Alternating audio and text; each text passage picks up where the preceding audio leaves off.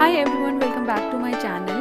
Today I'm going to do an easy, natural and homemade face pack which will not only remove dark spots, acne marks and pigmentation but will also brighten up your face giving it a very natural and healthy glow. To make this face mask we need orange peel powder, turmeric, honey and raw milk.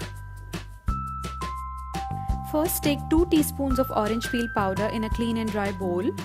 Now add half teaspoon of turmeric into it. Now add 1 teaspoon of honey to the mixture and then add 2 teaspoons of raw milk.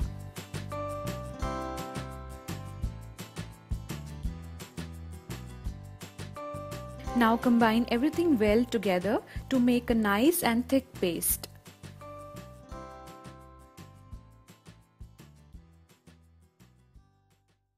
The face pack looks like this. The orange peels tend to swell when mixed with liquid so make sure you adjust the quantity by adding some more milk before applying the face pack. Now apply this face pack evenly on your clean and dry face and neck area.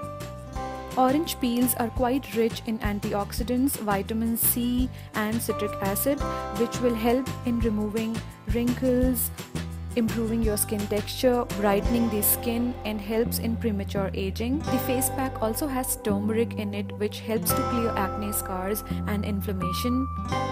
Honey which is a powerful antibacterial and antiseptic agent and milk which pulls out all the excess oil from the clogged pores and nourishes the skin. You can also replace milk with yogurt if you have really oily and acne prone skin. Now hold on to the face pack for around 15 to 20 minutes.